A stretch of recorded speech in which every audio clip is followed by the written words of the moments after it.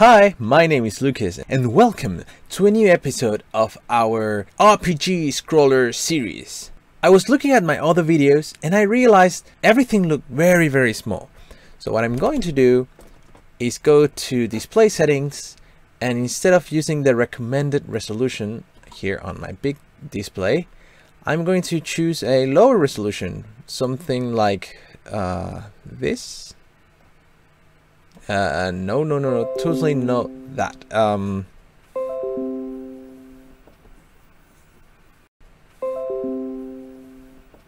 aha! I think this one will be good enough. Now if I go to OBS, you'll see that the screen is going to be much bigger. So I want to increase the size so it occupies the whole screen. And now you should be able to see Unity with much bigger letters. So I really want you to tell me in the comments if you want me to you want me to keep this resolution or you want me to go back to how I used to do them usually. So please let me know in the comments. So I realized we have several bugs in the game. Uh, we can't move and jump at the same time and when we jump and attack the jump animation is all glitchy and even though now we won't attack if we click on the UI, if we close this panel, so if I cancel it, the player still attacks. And this cancel button does not work. So let's fix all these things. Let's begin with our inventory. You see, if we click on any item, everything works fine. But as soon as we click on something that is not an item, for example, this part of the inventory or slot, you will see we'll get a null reference exception. So let's double click inside here and you will see that the drag item, because we were not clicking on an item, so our drag item is null. So what we can do to fix this is go up here after we try to set our drag item and we are going to check if dragged item is null. So really simple, we just type if dragged item equals null, then we will return.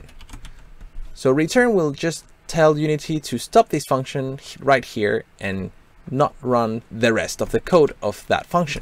So if we go now to Unity and we try it again, we can click on the items and we can also click on any part of the UI and no error will pop up. But now there is a problem. After we clicked on these slots, we can no longer drag our items. So let's go one more time to our inventory controller. And now here when we check if the raycast result has the component item, we want to add an else case. So this means that if raycast result is not an item, we want to clear the raycast results because what happened is that we set the slot as the first element of this raycast result. So the next time we try to click on an item, the first result was always a slot because we never cleared the results since we were returning here before we can actually clear the results. So that's it. We just clear the results and then since the drag item is null, the function is going to return. Let's try now. And we can drag items, we can move them around. And if we click on a slot, then we can still drag the rest of the items. Very well. Let's make this cancel button work. Let's go back to the inventory controller and in the start function we want to set the cancel button. So it's really simple. We will see here our canvas, there is the inventory and we just need to follow the hierarchy all the way to the cancel button. So in my case is background, buttons, cancel. So I'm going to go and type transform dot find background buttons cancel. And I want to get the button component, so get component button. And we are going to add an onClick dot add listener and we will add a lambda expression inside here. So inside here, we just want to type game object dot set active false and our cancel button should close our inventory. But you will realize one problem and is our character still attacks when we close this window. This happens because the inventory closes before our input manager checks if it's hitting on a UI element. And I realize I've been using Visual Studio. I'm sorry about that. I'm going to keep using MonoDevelop on the next episode. Our input manager checks if we're clicking on the UI, but that was that happened after we closed our window. So the input manager says, okay, you didn't click on top of anything. So how we're going to fix this is go back to our inventory controller and we're going to make an IEnumerator function. And if you don't know what an IEnumerator is, go to see the video I made about them in the card up here or in the link in the description.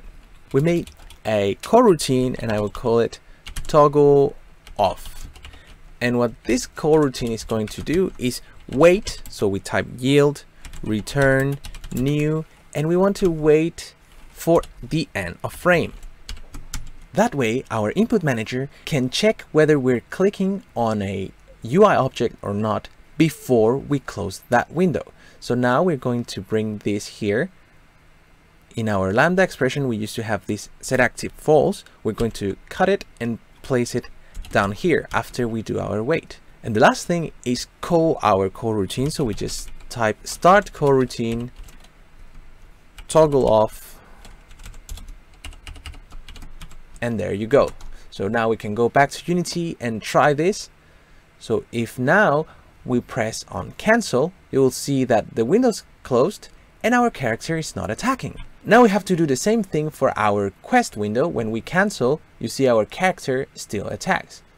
So we're going to go to our UI manager and here we have all our quest stuff. And what we want to do is replace all these set active false lambda expressions, we want to replace them with the coroutine we just created. So we're going to copy the same coroutine from inventory controller. So I'm going to copy toggle off. I'm going to copy this in the UI manager. So I'm just going to place it here. So IEnumerator. But now since we might have different game objects, we're going to pass a game object as a parameter. So we know what game object we need to toggle off. So here instead of game object, we're going to type go.setActive false. So now we just have to find all the places where we set off a window and we just need to replace them with start coroutine, toggle off, and we provide the game object as a parameter here. And then we can get rid of this line. Do the same down here. And we should be ready to try it. So let's try this. Click on the npc we cancel and we are not attacking. We accept the quest. We accept it. And now we cancel and we're not attacking. So that's great. So now we can cancel our windows and we won't have an undesired attack glitch. And we don't have any other bug in our inventory so we can drag the items and after we press on different elements our items will not get stuck in one slot. So congratulations if you followed this far. So right now our jump is like this. So I jump and just go up. I keep moving just a little bit. The animation is shaky. I can attack on the air and I don't know if that's what we intend yet. So on the next video, we will be fixing the jump. So now, right now you see I fixed it. I can run and jump. I can jump and move a little bit after I jump. I can change my direction once I jump. And if you see my animations, I fixed them a little bit so that they won't jump all the way around. That's pretty cool and we will be doing that on the next video. So that's all the time we have for this one. Thank you very much for watching. Please remember to like this video, share, comment, and don't forget to subscribe. If you have any question, please let me know. And I, again, I want to thank you all for your support. You are wonderful. And I will see you on the next one. Adios!